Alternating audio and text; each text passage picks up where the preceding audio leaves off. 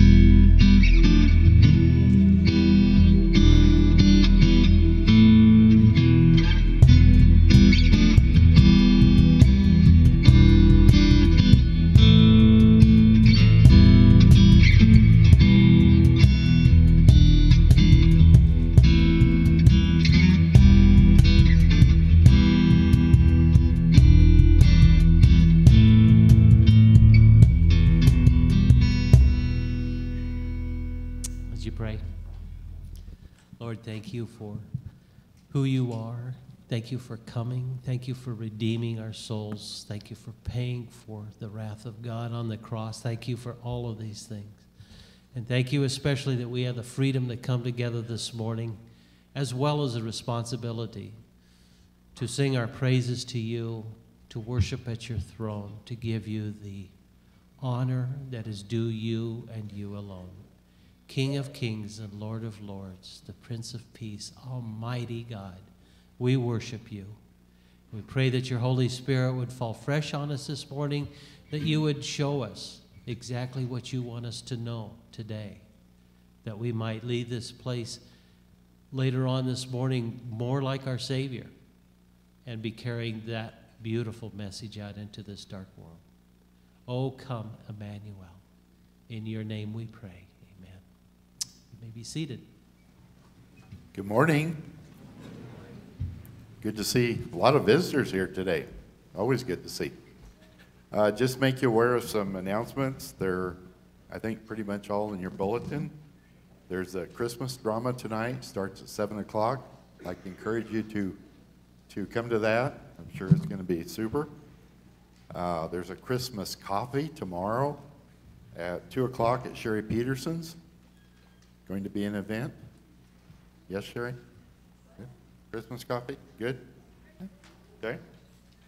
Uh, moving over, the angel tree that most of you are aware of, where we, we've got different people's names and we get them gifts and then we, we go caroling and uh, give those individuals those gifts. There's still several names on the tree, so if you feel led, why grab a name and get a gift. It, the tag tells you kind of what their needs are. Uh, missionary wives, we've been taking donations for that for several weeks, and uh, I believe they they uh, received over $2,800, so that's tremendous to send to the wives. Uh, lastly, on your last page, there's several people there that, that you might keep in your prayers. Uh, see, Susan Gray is back with us this morning, and uh, Donna Winbolt has gotten home. She's still recovering from pneumonia, so continue to pray for those people. And uh, I believe that wraps it up. I'll turn it back to the worship committee, worship group.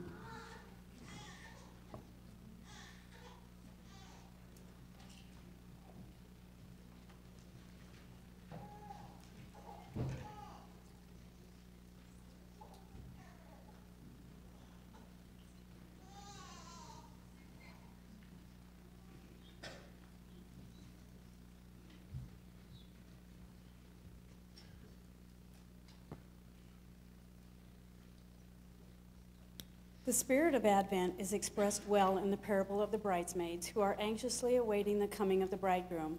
Matthew 25, 1 through 13. There is profound joy at the bridegroom's expected coming, and yet there is a warning.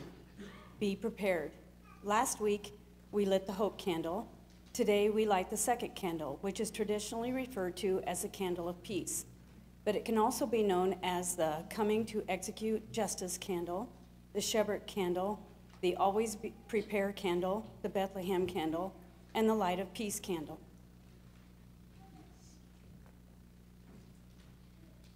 Regardless of the name, the purpose of this candle is to serve as a reminder. A reminder that at one time God's people waited for centuries for the new king who would deliver them from oppression. They were abused by power hungry kings, led astray by self centered prophets, and lulled into apathy by half hearted religious leaders. But although they waited in prayer and longing for relief, were they really prepared when Christ finally came? Would we have been prepared if we had lived then? Do our lives today reflect our understanding that his promised second coming could be at any moment now? Are we any more prepared than God's people were over 2,000 years ago? Whenever we're on a mission with God, like Joseph and Mary were as they waited for the birth of Jesus, we have to prepare. No one plants seeds one day and expects a harvest in the morning. There are things to do. We are called to cultivate our lives. We all know the sense of peace that comes to us when we have satisfactorily finished the preparations to complete a project, no matter how large or small that project is. Do we recognize this to be true in our spiritual life? Advent should not be time filled only with hope and anticipation. It should also be a time of preparation. And that preparation should be marked by sincere and devout prayer. For us, prayers of true devotion, firm commitment, humble submission, and patience. And for those still walking in darkness, prayers of continual intercession. Preparation is a statement of faith. Only through great faith do we find peace. Advent is about keeping watch. When the bridegroom came, those who were ready went in with him to the marriage feast, and the door was shut. Watch therefore, for you don't know the, the day or the hour in which the Son of Man is coming. Matthew 25, 1 through 13. Advent is about eliminating distractions. Don't allow the stress of Christmas season to distract you from what is all really important. Simplify your life, be still, and listen to God's voice. Keeping our eyes on Jesus, the source and perfecter of our faith. Hebrews 12, 2. Advent is about noticing God's hand. Reflect on this past year. Perhaps you, like many, have faced financial difficulty, or maybe you've escaped danger or disease through an unforeseen miracle. Perhaps this year has been a time of suffering uh, or relationship disasters.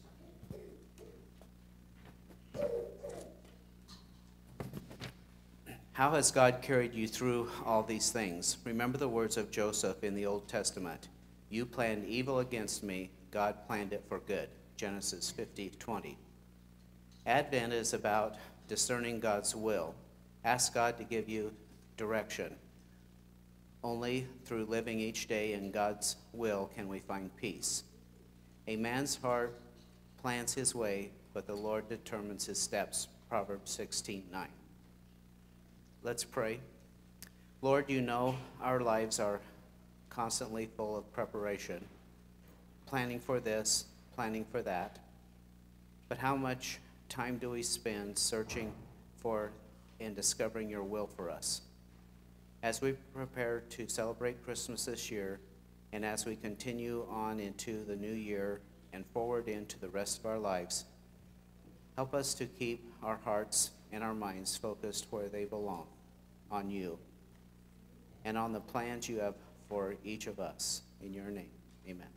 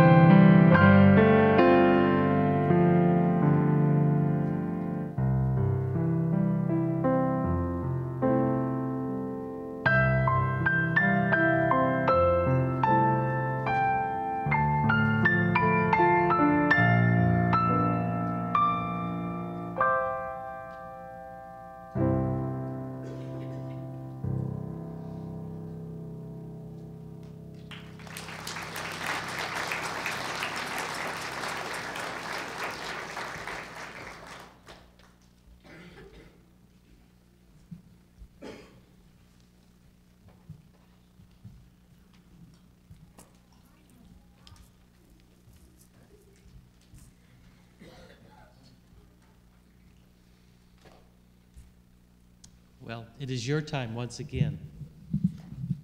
Would you please stand with us again?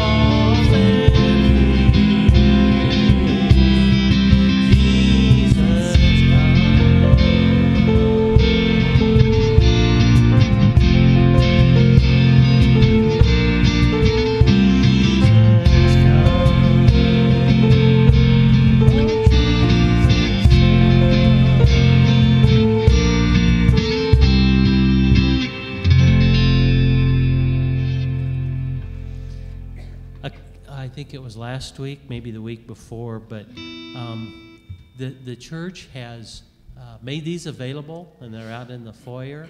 They're a nice devotion through uh, this Christmas time. So if you didn't get one, I'd like to invite you to pick up one. One of the readings this week, I wanted to read just part of it. Look at the big picture because it's a worship service. Look at the Nativity and you see a worship service. Angels hover over it like drones. Common, smelly shepherds and sophisticated wise men together bow down. Worship flows from everyone toward the child. It's difficult to imagine any greater contrast than what we see at the Nativity. They are different socially. Shepherds were low on the social economic level. Wise men were so acceptable that they entered the king's palace. They were different educationally. Shepherds had no formal education, while wise men were famed for their knowledge. God is telling us that no matter who you are or where you are from, any and all can come to Christ and worship Him. Christmas, first and foremost, is about worship. Those at the manger were not simply there admiring this child, they were worshiping Him.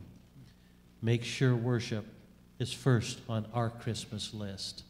This last song is called Adore, and that's what it's about adoring our Lord.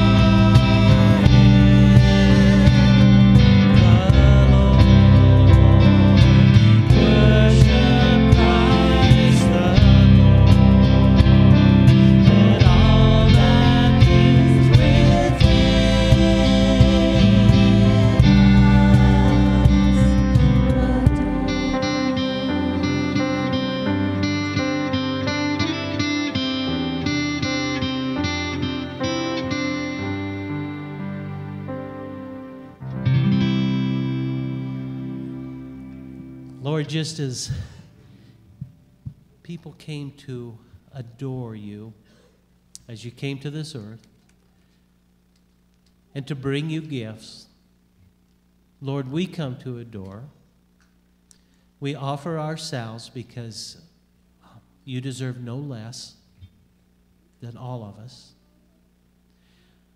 And Lord, we're mindful of the many good things that you have given us. And so at this time, we also bring our gifts to you.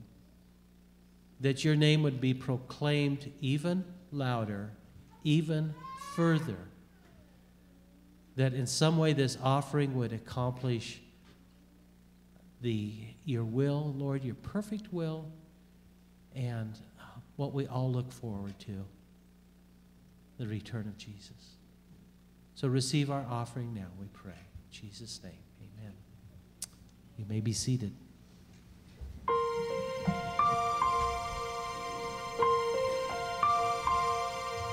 you.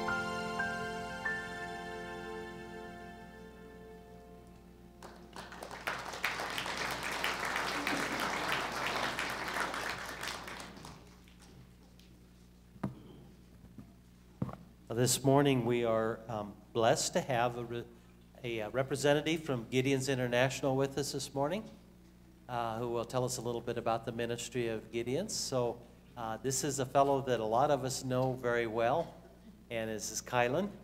And uh, so, Kylen, come on up. And if you would share a little bit about what's been going on and, and what Gideon's are uh, all about. Good morning, everyone. I, I have to tell you, our church in Omaha is a little bit bigger than this. On any given Sunday, we might have anywhere from six to 800 people. And this morning, we had the opportunity to meet with Gary. Where's Gary? I don't know where Gary's at, over there. Hey, we had to meet in Gary's classroom this morning, and there was only like five of us around the table. And it dawned on me the power of a small group. You know what I mean? The power of a small group. And the little bit of what I wanted to talk about this morning is where that power comes from. And the conversations that we had in Sunday school this morning were just amazingly in line with what I wanted to share with you guys in terms of the Gideons. And a lot of times we'll get up here and we'll talk about the Gideons and how broad we are. You guys know it's a big organization, right? We all over the world. You go into a hotel room, there's a Bible, right? comes from the Gideons. So we're not going to talk about all the numbers and anything like that, but I wanted to share with you a little bit about the why, the why behind the Gideons, and the why behind what we do with the scriptures and why we do what we do with scriptures and giving it out to the world. And here a while back, I, I had the opportunity to read a testimony of a, of a young man from Arizona, Christos Turzan. Kind of reminds me of Tarzan. I always wondered what this guy looked like. But he, this guy was, he grew up on the streets, grew up with a distant father, didn't have a family to speak of, so he found his family in the gangs, got connected with the drugs and all the stuff that goes with that. Well, the amazing thing was, as you can expect, he ends up in prison, but he gets into an addiction recovery program in prison where he's introduced to people who are studying the scriptures. And what really annoyed this guy is the fact that they're all excited and happy. They're in prison and they're all excited and happy, and it just irritated him. So he asked for one of those Bibles that they were using. So they brought him one of those Bibles and he began to read it and this is what this was his statement. He says, "I just want to know how does this book know me? How is it possible that this book knows me? That was his words. A man who had never had a family, and he's reading a book. I mean, I think about a book. And he asks the question how do these words know me? I think that's a question that we should all ask when we're in the Word. And so I, I begin to think about this a little bit more and to ask the question how is it that that book knows me? And I took that question a little bit farther and I said, who is it that knows me? And begin to think into the scriptures a little bit about the why we need to hand out the Bibles and why we need to continue to do this more and more and more every day. Have you noticed in our country there's maybe a lack of leadership? Huh? Yeah. Do you know where we're going to find some of the greatest examples of leadership? Are in the scriptures, aren't they? The master leader himself, the master educator. And as, we were as I was thinking through this, I said, what is the core purpose of the Gideons? The core purpose of the Gideon is to hand out the Word of God, literally, to give it away. We even have an app now so it's easier to give it away. If you want to meet me after church, I'll show you, I'll, I'll let you listen to our app, and we've figured out what God sounds like. yep, meet me after church, and I'll, I'll let you know exactly how he sounds when he talks. So, the purpose is to get the Word of God into people's hands. Why? Because the author is the greatest communicator the world has ever known. Its author is the greatest communicator and connector the world has ever known. This book, the Word of God, it can't help but be alive because its author can't, it, it, its author knows nothing else but life. Do you realize that? The author knows nothing else but life. So I, I opened up and I went to the Sermon on the Mount. And if uh, some of you guys follow me on Facebook, I know, and I, and I put a question out on Facebook yesterday. And the question is Is it possible for Jesus Christ to be able to have and share an opinion? Is it possible for Jesus Christ to be able to have and share an opinion?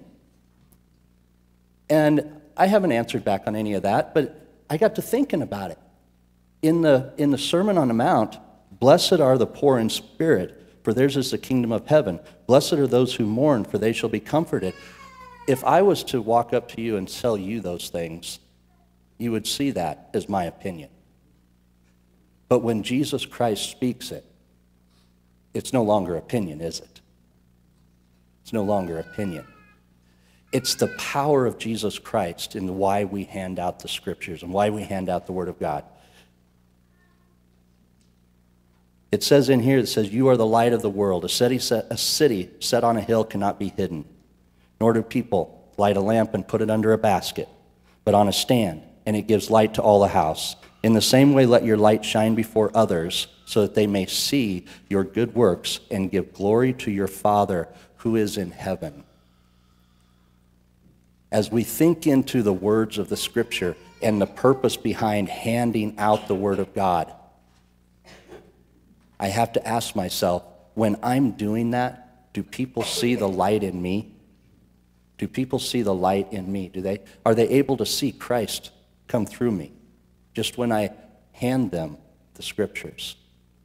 Because, see, if they ask me a lot of questions about my opinions and different things, I can say the same words that Jesus does, but it doesn't come across the same way. And just like Christos had to read the scriptures for, in order for him to know, in order for him to realize that that book knew him, he had to read it. He had to get into it. And, and that's what I wanted to share with you guys today.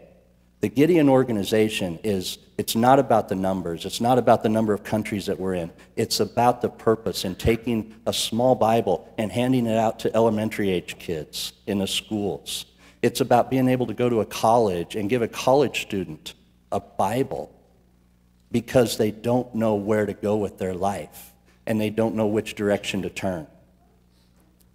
It's about giving someone that opportunity to speak with nothing but life. Jesus Christ is life. And they get the opportunity to have that personal connection with the author of life. And that has been heavy on my heart in the last few months. So I just wanted to share that with you today. If you want to be a part of this organization and help in the sharing of the gospel, there is so many different ways that you can do that. But first, I, I want to thank Tim, Tim and the church and the whole church board.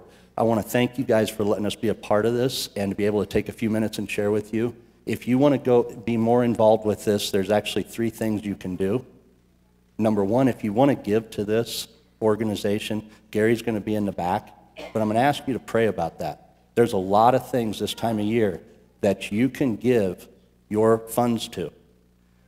If God's laying this on your heart to give to this, please do it. If God's laying on your heart to give some other way this Christmas season to get the word of God into the hands of people, then give there. But give where God is leading you. That's the most important thing. Secondly, continue to pray for the organizations like the Gideons and others. There's a lot of doors being closed to Christianity right now. There's a lot of doors being closed to the preaching of the gospel. So pray that those doors remain open and pray that maybe good Christian men will find crowbars and pry a few open. Okay? And then, of course, if you want to become a part of the organization, you, when, you can talk with Gary at the end. Gary would be more than happy to walk through what it means to become a Gideon and have the opportunity to just share and distribute Bibles with others. All right? Thank you very much. Kylie, can we have a quick prayer?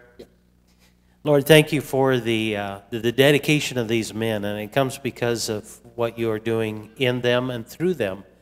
Lord, we know that your promises, your word will not return to you void, but will accomplish your purpose. And uh, we're all part of that, whether we belong to Gideons or uh, we're uh, faithful Christians that are speaking the word that you've given us. How grateful we are that you have given us the word. How important that word is. It is you, it is life.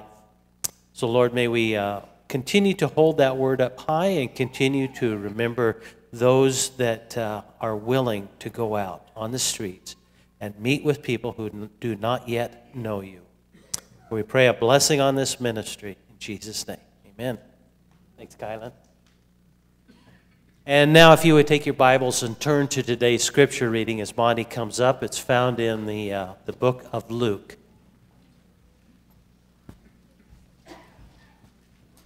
This morning's scripture reading can be found on page 857 of the Burgundy Bibles or page 1019 of the Black Mountain Bibles. And it is Luke chapter 2, verses 25 through 32. Now there was a man in Jerusalem whose name was Simeon, and this man was righteous and devout, waiting for the consolation of Israel, and the Holy Spirit was upon him. And it had been revealed to him by the Holy Spirit that he would not see death before he had seen the Lord's Christ. And he came in the Spirit into the temple, and when the parents brought in the child Jesus to do for him according to the custom of the law, he took him up in his arms and blessed God and said, Lord, now you are letting your servant depart in peace according to your word. For my eyes have seen your salvation, that you have prepared in the presence of all peoples a light for revelation to the Gentiles and for glory to your people, Israel. And we'll pray for the message. Dear Lord, just thank you for each of those that you brought here today, and uh, pray for those uh, who could not make it this morning, and pray for Pastor Tim as he brings the message this morning, uh, that we will continue to learn more about you um, in this Christmas season. In your name, amen. Amen. You may be seated. It's time for Children's Church. Thanks for hanging in there, kids. Good morning. Boy, it's good to be with you this morning and uh, loved having the Gideon share this morning. The music was awesome. Uh, I, I, I, trust you were blessed. And, and, this morning, we're just going to dive right in. Uh, this, this passage, I, I pay particular close attention to this one particular verse that Monty just read and, and that is in Luke 2.29. Lord, now you are letting your servant depart in peace according to your word. That's awesome. And, I, pray that God speaks to you today. You, know, as we're talking about peace, you know, in a world that is unraveling at an alarming pace, as an old senior pastor of mine used to say many times. Eh, you know, and I, I, was reading some different things this week, and one in particular is about those that are persecuted in the church. I don't know if you realize this, more Christians have been killed in the last century than in the previous 19 combined. Let me say that again. More Christians have been killed in the last century, the 20th century, than in the previous 19 combined. And just how, how that kind of brings home a little bit about the unsettledness of our culture. Last Tuesday, when we gathered for the, the Todd Becker Foundation speech or the presentation at the uh, afternoon with the, the, the assembly at the high school, we were immediately met telling us that there had been a lot of problems. In fact, the night before, that there was a group trying to close it down. In fact, they met him and said, You need to leave. You just need to leave. The superintendent said, We don't know, but uh, there's been someone threatening a lawsuit and saying this can't happen. In Broken Bow. Uh, you really, you know, I want to say, really? You know Broken Bow? But it's here. It's right upon us. The attacks are coming. And, and before we dive into this, but I want you to think about, you know, that, that we live in this unsettled time. It's not that exactly much different than the time than the birth of Jesus and what was going on and what was happening. You know, let, let me begin to kind of set, unfold this little picture of Simeon and, and, and uh, you know, standing on the temple steps and standing where we believe that, that Simeon would have been standing and blessing the Lord Jesus kind of blew me away. I remember it was on that Sunday morning, and I think I texted some people back at church and said, I, I'm standing right where Simeon would have been holding the, holding the baby Jesus and blessing him and saying, I have peace. Well, let, let me kind of start unfolding this. If you go to your bulletin, the first point is peace among those whom he has pleased, is what the angels had said. Glory to God on the highest. It's in Luke 2.14. Glory to God in the highest on earth, peace among those who, with whom he is pleased. I don't know if you've ever pondered this, but have you really considered the first Christmas? How unsettling it actually was. You know, suddenly the, these poor shepherds are out doing their job, and suddenly the, the angels are upon them, telling them that, hey, there's peace here. And they were anything but peaceful at that moment. They were probably shaking in their, their sandals. Well, how do we handle this? You know, and, and, and going a little bit further than on the Christmas Day story, if you really start to unfold this story and look at what's happening, and it came to pass in those days that they went out, to, uh, out of a, a decree from Caesar Augustus that all of the world should be taxed. I, you know, I've been in Bow now over two years, and I understand, or starting to understand, the difficulty about tax and taxes. I, I, am starting to get it, farmers. I'm starting to understand it, ranchers. And, and you know, think about this. This is how it began. You're going, you're having to go to find out how much your tax is. That's why you're going. Mary, a, a young woman here, first approaching the time that when she was going to give birth to her first child. I loved how Martin Luther described this. She was a young lady, we, we don't know, 14, 15 years old, bringing forth her first child, you know. You know, she probably had, uh, you know, the thinking, as, as Luther said, well, probably most likely the baby was going to be born in Bethlehem and going to be with my mom and, and all these kinds of things. But no. You're going to get on a donkey and go about 80 miles because of taxation. Boy, that's a joy. A lot of peace in that. It was an edict from Augustus that you have to go. You know, all this chaos was anything but peaceful. Was anything but peaceful. And, and that they, you know, but we must not attend merely to these events themselves, but we must remember that also this was God's hand moving them. And, and it was actually to fulfill prophecy in Micah 5 2 that it, the child would be born in Bethlehem. And they wander from this design in their own mind, most likely that they were going to have this child there, but unconscious of where they were even going. They did not have reservations. They didn't get on the cell phone and say, This is where we're going to be staying. They went. And then they went and they had to pay this tax. And it was a tax that most likely that what they were paying was what they had prepared to give to the temple.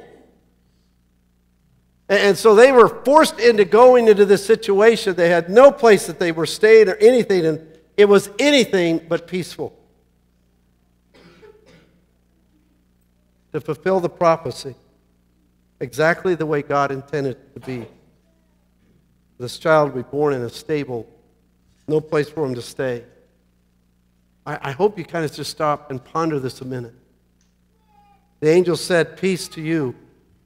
But this was anything but peaceful in the circumstances. And suddenly there was the angels, they speak glory to God in the highest, and the thanksgiving and praises to God, and, and that the peace has come to this earth. The earth is at peace.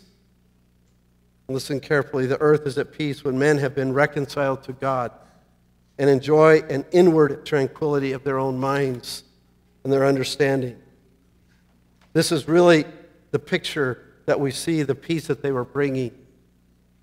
And it is tended to inform us that this is when we trust to the grace of Jesus Christ, this is the peace. And, and no troubles that can arise will prevent us from enjoying composure and serenity in mind and heart when we have this peace. And remember, faith is based, it's seated amidst the storms of temptations, amidst various dangers, amidst violent attacks, amidst fears, that our faith may not fail or be shaken of any kind of opposition. This is the picture. This is what it was about. And, and I, I pray that, that over the next few minutes, unfolding what this peace is really about. It was anything but peaceful but the message was peace. And here it comes. Following, if you're following on the bulletin, the next point is peace was according to the word. Peace according to the word in Luke 2:29. Lord, now you are letting your servant depart in peace according to your word. Let me just kind of unfold this story of Simeon for just a moment. That, that Simeon's circumstances were most likely anything but peaceful, especially after what he did. What we know, you know, you, will see some controversy in terms of who actually Simeon was. You read any, any Matthew Henry, Matthew Henry talks about him as, as being uh, one of the on the Sanhedrin, one was on the a leadership role within the Jewish council. Some even uh, tie him uh, uh, or attach him to Gamaliel's father. We don't know. We do know this he was a Jew. And he was standing on the steps, and, and he was standing there, and he was led by the Holy Spirit to stand there and to, to anoint this child, to know that he had seen the Savior. And, and this, is, this is the truth of what, you know, what we absolutely know about Simeon. He was a Jew. And if you understand Jews, they're still looking for Yeshua, the Savior. But when I was in Jerusalem, we heard this numerous times no Yeshua. In fact, we, a couple places, do not bring that name up. But when he said, he, Simeon stood on the steps and said, I have seen the Messiah. I've seen salvation. As a Jew, this meant he had troubles. Because if he had peace, he doesn't have it now in his circumstances because it is very unsettling for him. Because he is a Jew that is standing on the steps and saying, I have seen the peace. The Lord Jesus Christ, I have held him, and I praise you, God, for that. Second thing that really would have unsettled this for, for Simeon would have been this. He said the Gentiles are included. He said the Gentiles are now part of this. Before it was ever really thought of, he prophesied that the, the Gentiles would be included, and that means us. Every one of you, whether you realize it or not, are a Gentile. He just included you. Have you noticed something that, that you see this over and over in Scripture? His word, that when you'll see the men of God who step out, knowing the peace have just made their circumstances unsettled and the absence of peace. This is the picture. But it was a peace according to the word that Simeon was hanging on to. It was a peace that he knew that the word had shown him through the Holy Spirit and the word that he understood from the Old Testament that this is the Messiah. And he stood according to God's word. This is the peace. Now, this leads us to this question. Then look at his, if you look at his word and, and, and you understand this, we are taking him at his word. What does it say about peace? Well, finding peace when circumstances are overwhelming is the reality for most Christians. It is understanding that we are going to find peace in him, even though our circumstances may be anything but peaceful. And this is the picture that Jesus told us. In some of the most intimate words in Scripture, we see this is this in John 14, 27. Peace I leave you. My peace I give to you. Not as the word gives, do I give to you. Let not your hearts be troubled, neither let them be afraid. If you see this passage, I want you to look very carefully at the words let. Let not your hearts be troubled, neither let them be afraid. When you see that word let in the New Testament, most of the time what that word is associated with is choice. Jesus is telling us that because if you choose him, in fact, that's what he tells you in 14.1, choose him. Let not your hearts be troubled. Is it this choice that I have a choice to focus on him or I have a choice to focus on my circumstances? That's the picture. Let me define you the two different pieces. The peace that the world talks about. You know how the world talks about peace? It's like you got to be cool. You got to be you got to have all this success. You got to have all the answers. You got to you got to look smooth. And it's got to feel right. It, it, and, and also, it's based upon does it fit my picture? Am I getting what I want? That's really the picture of the world's peace. But peace I leave you, Jesus is saying this it's internal, it's intra, it's inside. It's not based upon what I want or what I get, it's based upon Him. The significance of salvation. You notice what Simeon said was, I have seen the salvation of the Lord. He's seen it. And, and Simeon was standing on the steps, not that his life was in peace, but his heart was at peace with Christ. That's the picture. That's the difference. So, this is what Jesus is speaking about. I've told you about my speeding ticket. Have I ever told you that story? I can't recall some of the stories. Well, yeah, I, I confess. And some of you make fun of my driving already. I heard a couple people saying we can always tell when Peterson's here, it's a cloud of dust coming into the driveway. And then you see this little body jump out of the car and run in the, house, uh, the church. Well, I, I, I know I, have had, I've had my first speeding ticket, and, and uh, I'm an old correctional officer, so, you know, I, I kind of think of all these things sometimes. And, and, and, I was anything but peaceful. My wife can attest to this. I got a speeding ticket in, in uh, Adams County.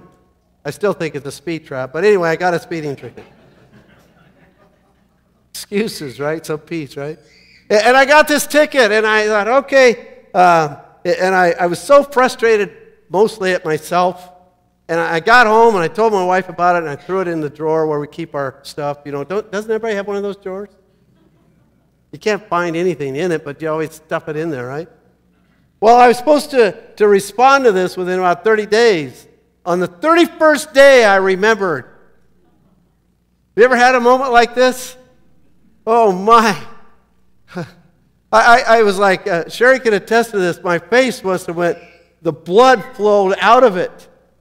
And my mind went nuts. Have you ever had a moment like this? That your mind goes crazy. I, I mean, I'm an old correction officer. I had myself in an orange jumpsuit and white shoes so fast. And I was thinking, I'm probably going to know people. You know, and, and then I was, my mind was racing. I didn't sleep that night.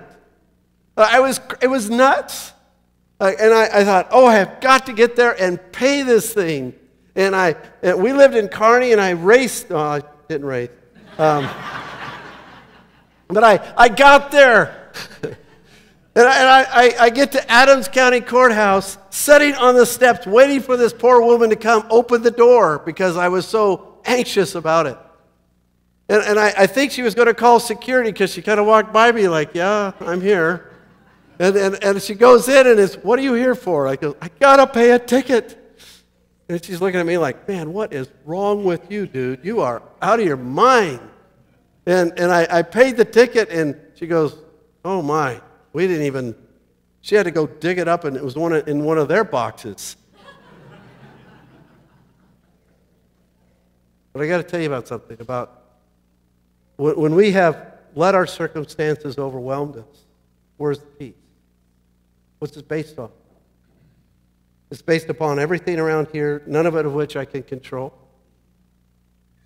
And, and, and we obsess about it. And, and, you know, one of the things, I don't know if you've ever thought about it, when, when you are not at peace, you're like a porcupine. No, I'm serious. I, my wife tried to console me, and I was like a porcupine. Ever tried to hug a porcupine? Don't. It's not a good experience. But when you are unsettled like this, this is what that anxiety does from the inside. It absolutely rips you apart. And I would imagine there might even be somebody here sitting today going, The peace, yeah, right. Where? Where is it? Because our minds are so focused on it. And I would imagine probably everyone in this room could understand that. But if you're going to understand peace, I, I pray you listen very carefully.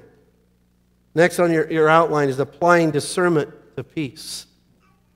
Applying the discernment.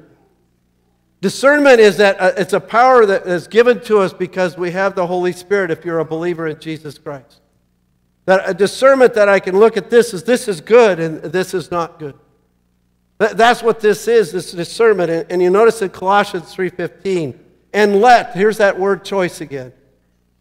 Let the peace of Christ rule in your hearts, to which indeed you were called in one body. And be thankful. We'll deal with the thankful in just a moment. The word let is key that if I choosing to let Jesus rule, or are you ruling? Am I choosing to look at my situation through Jesus' eyes or am I looking at it through my own? Which is it? Because this peace requires something from me that I am following Jesus Christ, that I'm discerning what He is doing and His leading and His word exactly what Simeon did on the steps. I see your word and I have your peace. Not that the circumstances are, are, are, are, are peaceful, but the peace is Him. See, the question is Is Jesus ruling your heart? Is my peace set on Him, not me, not my circumstances? And we're called to this, are we not? In- other words, we're created to be in this peace, be settled in it. See, Jesus is our peace, therefore we are in peace. When you are not in peace, you are in my way, my hope, my direction.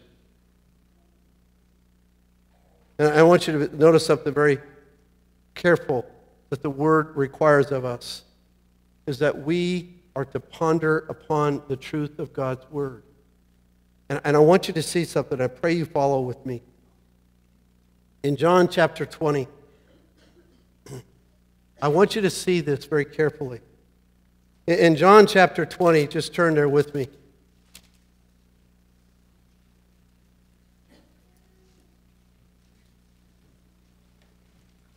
I love what Kylen said about the word. And uh, uh, for those of you who might be visiting, that what we, we believe here is the word of God is truth. And I, I pray that you walk away every, every time you're here is the focus on the word. In John chapter 20, starting verse 1, now on the first day of the week, Mary Magdalene came to the tomb early while it was still dark and saw that the stone had been taken away from the tomb. So she ran and went to Simon Peter and the other disciple, the one who Jesus loved. So she ran to Peter and to John. And then I love this John outruns Peter. He had better Nikes. And uh, they have taken the Lord out of the tomb, and, and we've we do not know where they have laid him. Verse 3 Now Peter went and, and out with the other disciple, and they were going toward the tomb. Both of them were running together, but the other disciple outran Peter and reached the tomb first. Now look at this carefully. And stooping to look in, he saw the linen clothes lying there. In your Bibles, I don't know if you highlight, I would hi- ask you to just think about the word he saw. He saw. So John beats Peter. A- And he runs, doesn't go in, looks in, and he saw that the linen clothes were lying there. The word, see, in, in Greek sometimes, you'll see a more definition of what it actually means. So John visibly just saw it and went on. Just what his eyes took in. Now, but I want you to look a little further. Verse 7 And the face of the cloth had not been on Jesus' head. Now, verse then Simon Peter came following him, and he went into the tomb, and it says, he saw. Different words. Because the Greek here, what Martyn Lloyd-Jones and what James Montgomery Boice bring out of the, the old Greek language here is this is there's a different word to mean to see and ponder. Think about it.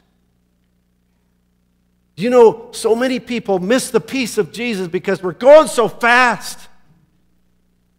We don't stop. Peter stopped and he pondered it and he thought about it. Look at what it says. He thought about it. He, he saw the, the face cloth which had been on Jesus' head, not lying with the linen clothes, but folded up in a place by itself.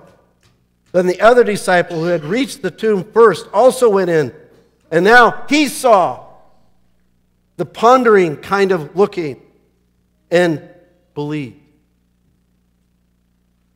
This is exactly the verbiage that is described as Simeon standing on the steps. I have seen, I have pondered it, I have thought about it. And they knew the peace. You want the peace? You got to come to this. And, and, and it takes some time with Him to really ponder it and understand who He is. And when you see this peace, it comes over you on the inside and gives you the strength to stand up to whatever the circumstances are. This is what the peace of God is about. This is what the peace has come. Now look a little, even a little further. If you go, continuing on, oh, I've got to rush. Philippians chapter 4, 6 through 7. Peace requires dependence. It requires dependence. Do not be anxious about anything. You know why? You know why it says do not be anxious? Because when you get anxious, it's got you. You can't think. You're like me, an orange jumpsuit and white shoes. It takes over. And you can't see the peace of who He is. Do not be anxious because if you let it get you, you can't see it. But in everything, by prayer and supplication with thanksgiving, let your requests be made known to God, and the peace of God, which surpasses all understanding, will guard your hearts and your minds in Christ Jesus. That's who it is. He guards it. I can't. In fact, I, can't even know my own heart. Next point on your bulletin is peace requires relationship. It requires relationship. Peace requires a relationship with Him. And, and, and, it's, it's so clearly said to us here. In Ephesians chapter 2, verse 14, it says, He is our peace. You want peace? You want the peace that's talked about in the scripture? It requires a relationship with Him. No excuses, but here's the deal everyone is welcome. Everyone is welcome. For He Himself is our peace. Last on your bulletin, as I want you to see this, is that gratefulness is the porthole to peace and love. Gratefulness is the porthole to peace and love.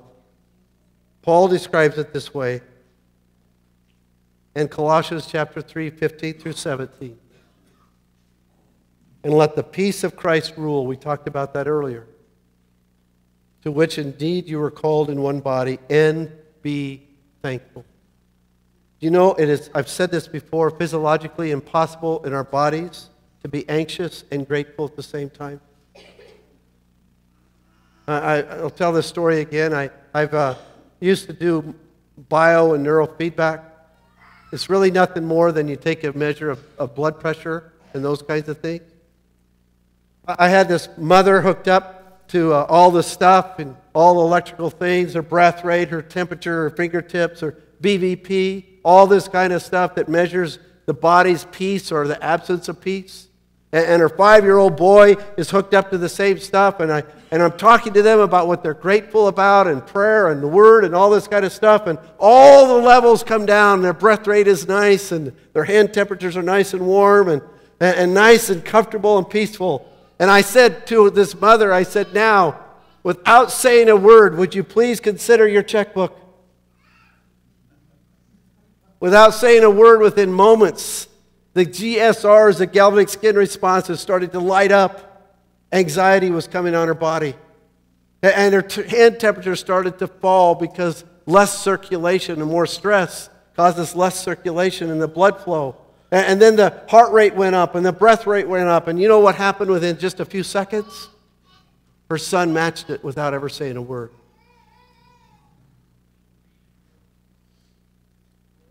You know, this gratefulness I've been reminded so many times in my own life, no matter my circumstances, have I stopped and counted the blessings that God has poured into my life. And you know what happens? I start to see Him. I start to see His peace. Goes on to the next passage. Let the word of Christ dwell in you richly, teaching and admonishing one another in all wisdom, singing psalms and hymns, spiritual songs with thanksgiving in your heart. And whatever you do, in word or deed, do everything in the name of the Lord Jesus, giving thanks to God the Father through him. You want this peace? Step into the gratefulness and praise God for those things that he's put in you. Peace is found in Jesus Christ and in him alone. Through a growing relationship with him. The peace is found when I'm dependent on him and not on my circumstances. Dependent on Him is, is about surrendering to Him and His truth and His word. And peace, as I pursue it in Him, is revealed more and more. And through the gratefulness, when we're grateful to God for His glory, for who He is, we see more and more of it. I want to leave you with this story as the worship team comes to close us. I'm reminded of this story. Oh, Father Martin used to tell this story. And it was about a POW in the Korean War. And, and, and I don't know if you've ever studied about the Korean War and, and how they were locked up. And in his cell, he was a captain in the Air Force. And, and he was locked up in a cell. And, and this cell was about six foot wide and about six foot, you know, it was just a box, barely six foot cube. And this man was about six foot five. There was absolutely no place that he could stretch out. And it was a cube, and he was in isolation. He could hear sounds of Korean words, but he could never hear the English. And he was isolated. He was beaten many times. And he, he, was, he was believing that he would never find or never see U.S. soil again. And he remembered some of these passages about peace that Jesus, He is peace. And grateful. In, in some of his writings, he talks about this. He said, You know how good God is to me? what? On, on a day, I think it was close to Christmas because he tried to keep track of the days. And he said, You know how good God is to me? He let a rat, female rat, come into his cell and have her babies. And I shared my little bowl of rice and whatever it was, and I shared it with that rat. And you know how good God is? That He let that rat stay with me. I had company. Your circumstances tough? Yeah, they are. But I pray that you walk away today challenged to ponder upon the revelation of our salvation through Jesus Christ.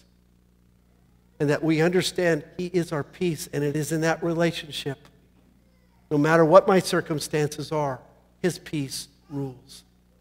Father, I praise your name for this truth. And I thank you for uh, how you shown us over and over to ponder the truth and know it. That you recorded, Simeon's, that today I've seen the Savior. I can depart in peace. Over and over and over, you've shown us through your, your, your men that you've written the word about and through that it is your peace that rules. Lord, I, I know there's a lot of hurt and a lot of unsettledness in this group. Lord, I pray that you move in their hearts to slow down and just ponder the truth of who you are. Pick up the word and just to settle in it. Lord, I pray these things now in Jesus' precious name. Amen. Well, please stand with us. We're going to sing verse 1 and 4 of It Came Upon the Midnight Clear.